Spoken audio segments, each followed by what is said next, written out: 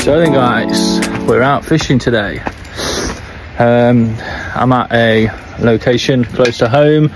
Again, it is the infamous Beeston Canal. Now, I'm not going to get my hopes up today, but there is this fantastic spot, and let me show you. So I've fished here a number of times and I've had a few fish out to be fair. So what I'm going to do is I'm going to cast one right over towards that wall there. I'm going to drop one in that little trap there and then I might just have a float rod just knocking about out in the, out in the middle sort of thing. Got my barrow here, all my bits are down there. Going to get set up and then uh, yeah, we'll see what's going on. Time at the minute is nine o'clock in the morning and we're going to see what happens. By the time we get set up, it'll probably be about 10 off 10, something like that. Um, yeah, all dead baiting, all on pike. Rule number one, whenever you're fishing and you're getting yourself set up, always make sure you set your net up first.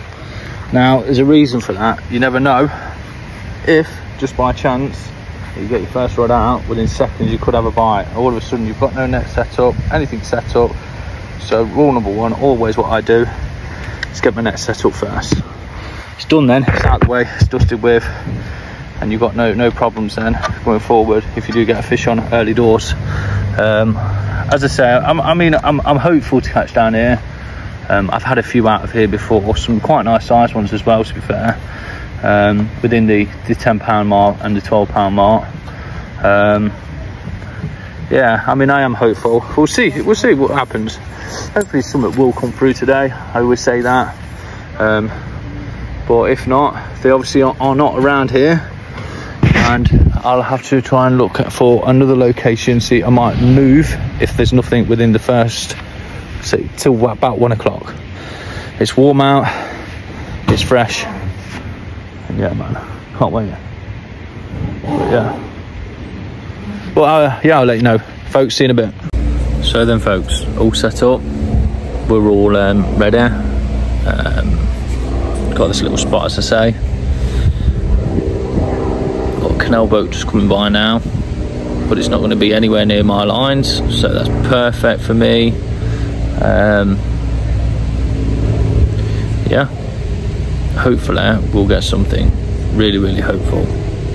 Um, if not don't make no difference. I'm out in the fresh air and that's all that matters and that's how I want to see it. You know it is about enjoying yourself on your days off getting that fresh air seeing the wildlife seeing what's out there and meet new people.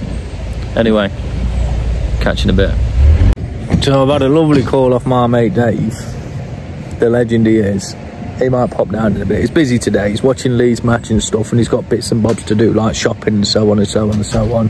That's why Dave's not on my trip today. But anyway, getting back to it. Um, yeah, I'm missing him today. I always miss my mate Dave when we're fishing. It's always nice to have a buddy that you can have that, that bit of a laugh with and that conversation with when you're fishing you know it breaks the day up and makes it go a bit quicker doesn't it? You know when you're just sitting there doing nothing it's a bit more boring sort of thing. But it's nice. If you go fishing i do suggest it's a peaceful sport if you like your own time and your own company. It's nicer to get out in that fresh air. But also if you do like to have somebody there go with your it's always a good laugh. So i like to go with two people to be fair. I like having that conversation. I like doing bits and bobs and funny videos with him He's a legend, but he's let me down today. He's watching Leeds. I don't know why he's watching them for, but he's watching them. Anyway, folks, nothing's happened so far. Um, Canal's like right dirty down here now. Like the, the, locks have opened up and they've brought loads of like um, top weed through. I'll show you. So this is a spot where I'm fishing. As you can see, I've got both my rods out, but it is covered in that what green weed, whatever it is. It's fucking horrendous absolutely horrendous. Anyway, I'm loving my life down here by myself. Got my Crocs on. I brought some new Jibbitz over the weekend. Got pizza and I got this one there, look. This nice little bad boy. So they're on there. Anyway, catch you in a bit, folks. So then, guys, the time now is one o'clock and there's been nothing whatsoever. I mean, I did think it was going to be the case that there was going to be nothing, to be quite honest with you. I mean, I've got a few more hours worth of fishing. Um, but as it stands, there's nothing happening at the forefront um, so far. Um, shame, really. And I say this every time. I do think, as I say, Beeston has particularly gone downhill. Um, but content's content at the end of the day, and hopefully we'll try and get something through. Um, still got a couple more hours. There's a lot of fish showing on the surface and things like that, sprats and stuff, which why I thought, you know, might have the opportunity probably snatch a quick bite or something like that. Um, I mean, great float fishing down here. That's what I can say.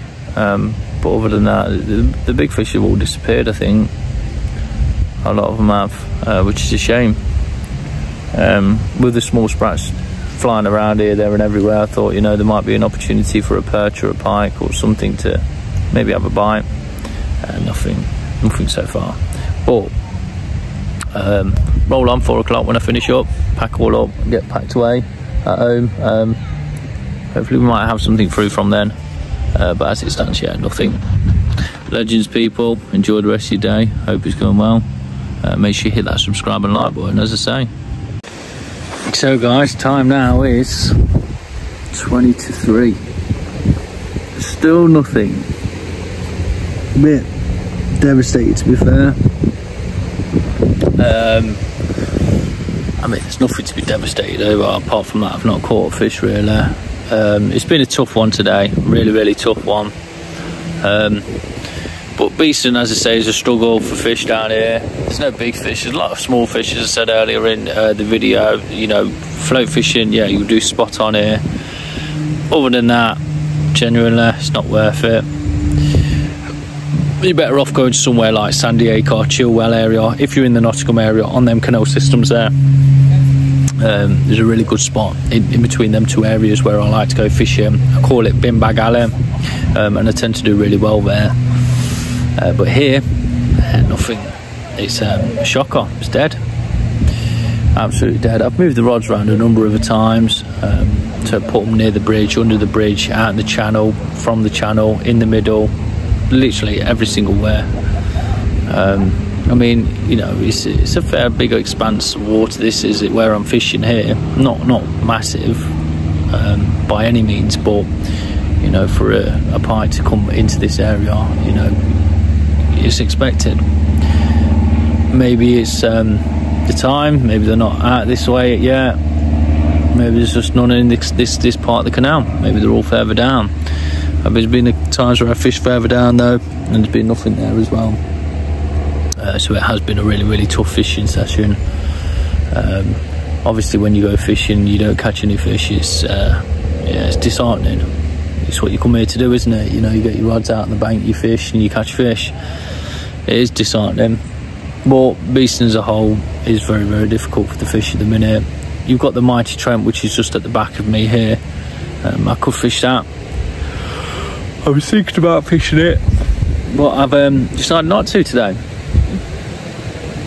Uh, maybe I should have. Maybe I should have gone Trent instead. Um, however, you know, we learn.